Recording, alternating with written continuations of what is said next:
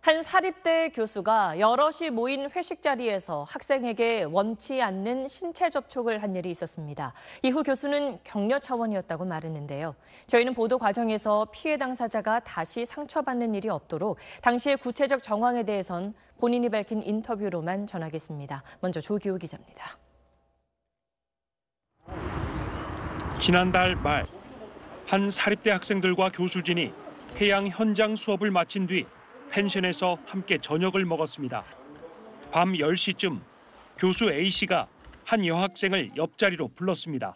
반바지 입었거든요 제가 무릎을 꿇고 앉았어요 제가 제 발목 잡으시면서 편하게 앉으라고 성추행은 그때부터 시작됐다고 합니다. 처음에 발등을 계속 막 쓰다듬으시더라고요 아, 점점 종아리에 쓰다듬다가 갈수록 대담해지는 추행에 당장 자리를 뜨고 싶었지만 그럴 수 없었습니다. 교수님이란 자리 자체가 저한테는 압박감 있잖아요 아 이러다 말겠지 그냥 좀 버티자 이 생각하고 있었는데 더 놀란 건 화장실에 갔다 나오려는 순간이었습니다.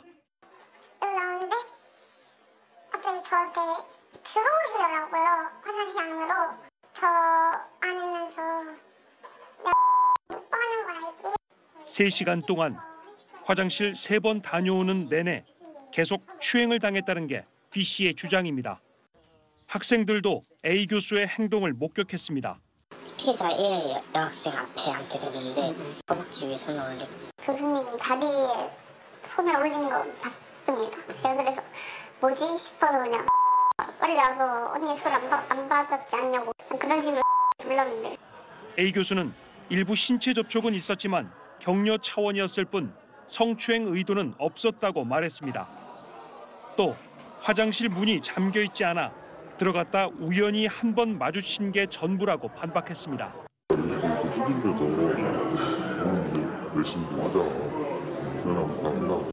결백하다라고 지금 말씀드릴 들었고 어떻게 결백하다는 말씀이세요? 이게 제가 격려차고 아끼고 사랑하는 마음에 대학 측은 진상 조사를 하고 있으며 당분간 A 교수에게 강의 중단을 권고했다고 밝혔습니다. SBS 조교입니다.